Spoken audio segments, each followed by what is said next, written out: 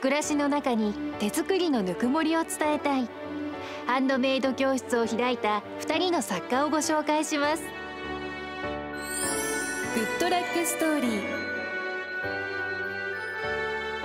奥州市のハンドメイド教室つなぐここから。2人の作家が意気投合し誕生した教室です。子供の頃からものづくりは好きでそれが自分の心の癒しになっていた。菊池さんとの出会いによってハンドメイドやってみようっていう思いきっかけそしてこの教室を立ち上げるまで至りましたので本当に感謝しております。いつかこう教室を持ちたいなって思ってた時に菅原さんから声をかけていただいてもうこれはチャンスじゃないかと思って。子供の頃1枚の折り紙で6個の鶴を折るほど手先が器用だった菅原さん。今の自信作は子供服をカットして作ったリースです。子供ってすぐ成長してサイズアウトしてしまう服がたくさんありますし服としてタンスに眠らせておくよりもリースとして部屋に飾り覚えてる？これちっちゃい時の服って今会話のきっかけにもなりますね。菊池さんの自慢の一品は繊細な工程を積み重ねたつまみ細工です。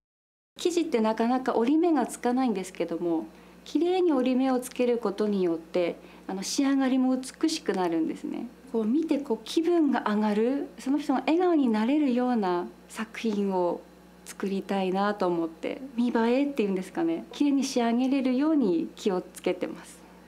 おやつ付き教室も開いているつなぐここから調理師免許を持った新メンバーも迎えさらなるつながりを目指していますつなぐここからっていう言葉が主となっておりましてハンドメイド教室だけではなくいろんなつながりを作っていきたくていろんな部門をどんどんどんどん増やしていきたいって思っております。どんな方でもこういうハンドメイドの教室を楽しんでもらいたいなと県内だけではなく全国とか世界に向けていきたいなっていう夢はあります。ハンドメイドの魅力をもっと広めたい。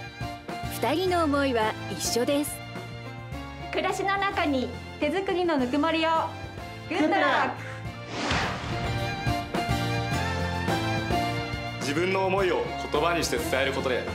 信頼関係を築けるよう心がけています。この番組は高楽の提供でお送りしました。次回はこの方の GOOD LUCK STORY をお送りします。